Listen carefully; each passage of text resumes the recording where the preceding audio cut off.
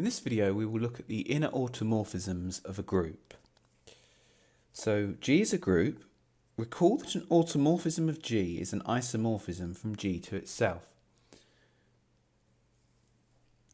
Aut G denotes the set of all automorphisms of G and this forms a group under composition of functions.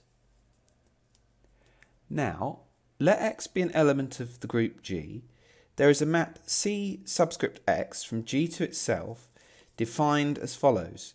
The element G of the group G is sent to X inverse Gx. This is commonly called conjugation of G by X. So now what happens if we compose C of X by C of X inverse, where here we note that this is the element X inverse of, of the group G in the subscript? Well, first of all, an element G in our group G is sent to X inverse Gx by this definition. And then that is sent to xx inverse gx x inverse. This just collapses to the identity element, as does this.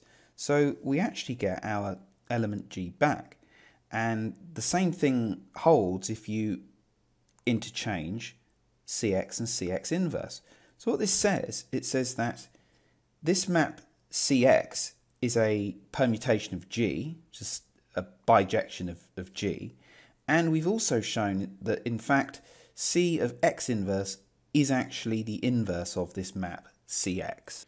Now let G and H be elements of our group G. Cx takes their product to X inverse GHX, which is equal to X inverse G, XX inverse HX. And what we've done here is we've inserted an identity element in the middle here and expanded it as xx inverse.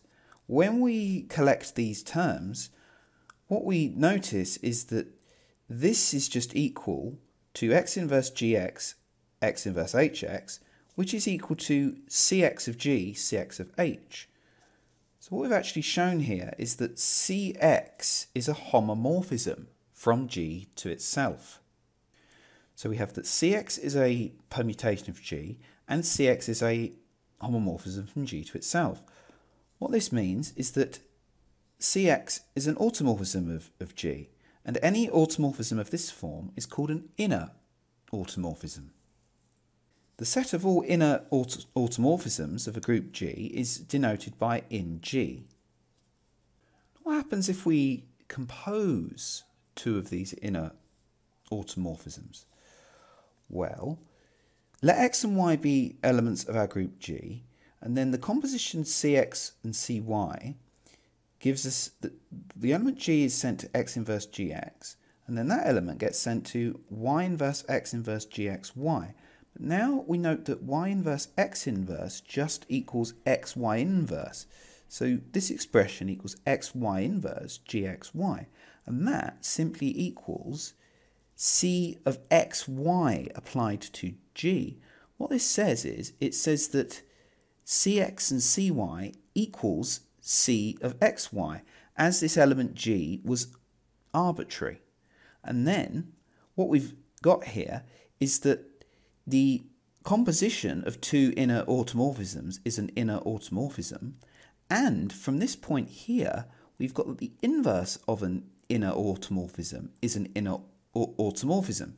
So what this says is that the set of all inner automorphisms of G is actually a subgroup of the automorphisms of G.